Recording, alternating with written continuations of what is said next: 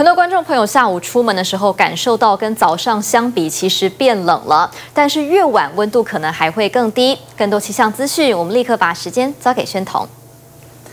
强冷空气的冷平流现在位置已经来到了北部的上空，预计还会再往南走，所以在北部现在温度已经下降了很多，而在中南部地区温度也是缓降的。当然，最冷的时间还是落在礼拜二还有礼拜三。但我们要同时提醒，强冷空气南下的过程，除了夹伴着一些水汽之外呢，同时这个风浪也是蛮大的，像是在新北市的龙洞已经测得了五米的浪高，去海边要小心。再来观测一下外面外头的天气，双北市现在的温度介于十二到十四度左右，新。竹十二度，而在台中地区十六到十八，而在高雄、台南等地呢，则是介于二十到二十二度左右。而这样子的温度还是会持续下降。以台北市的温度来说，不排除在今天十点的时候呢，就有可能会降到十度以下的低温，甚至明天可能一整天都在十度以下。所以气象署也持续的发布了低温特报，除了屏东还有台东之外呢，几乎以北全部都亮起了灯号，尤其在整个彰化以北更是亮起了橘灯。意味着有可能会出现长时间的十度以下低温，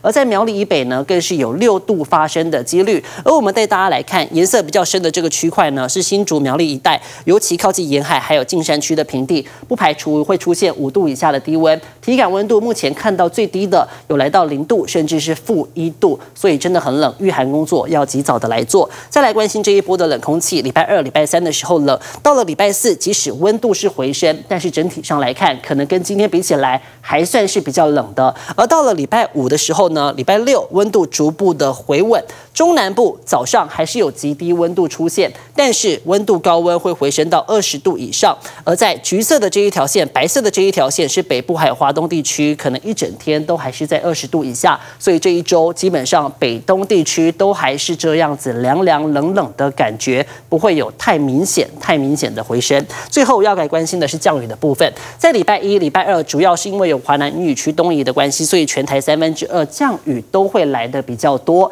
但是到了明天的白天之后呢，这雨势会有所趋缓。礼拜三开始剩下迎风面地区有雨，可能山区也会有一些。到了礼拜四、礼拜六呢，整体的雨势又更为的少，只有在迎风面地区降雨。在新北市的部分地区，还有在台北、宜兰一千公尺以上高山，有可能会降雪，时间点落在礼拜一的晚上到礼拜三清晨。上山要记得上雪链。以上这节气象说想看最完整的新闻内容，记得下载 TVBS 新闻网 APP。